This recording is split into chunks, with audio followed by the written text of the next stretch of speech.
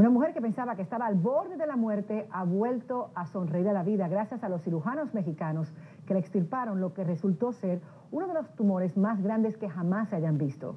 Agustín Olaiz está en la Ciudad de México con los detalles de este fenómeno de la ciencia. Adelante, Agustín.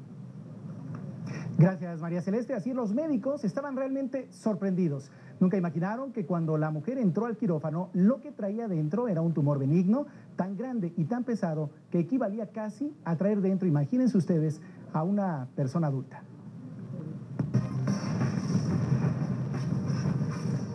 Su mirada es la de alguien que hoy tiene esperanza, la de una mujer que volvió a nacer cuando estaba resignada a morir porque asegura cargaba consigo su sentencia de muerte.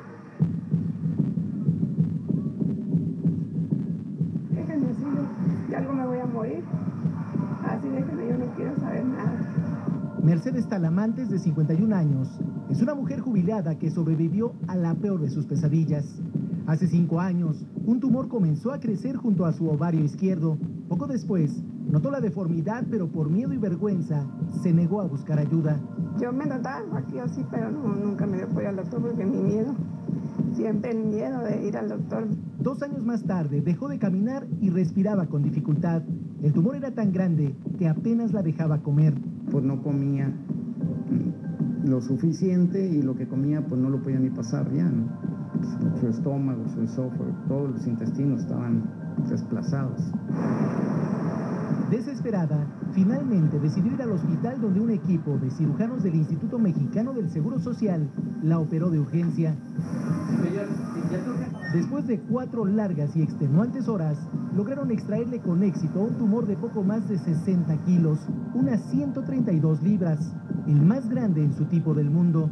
El radiólogo menciona que pues él pidió una regla, una cinta y empezó a medir de aquí a aquí, y marcaba y de aquí a acá, porque era, no le alcanzaba la regla para medir el tumor.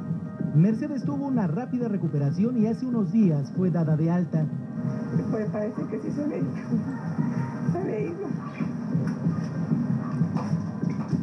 Regresó a su casa donde lentamente, con ayuda de su familia, retoma paso a paso el tiempo perdido.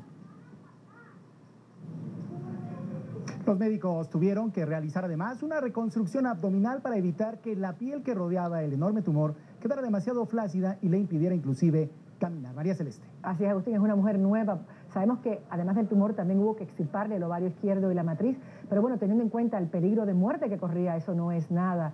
Eh, aseguran que la paciente está ahora más saludable que nunca.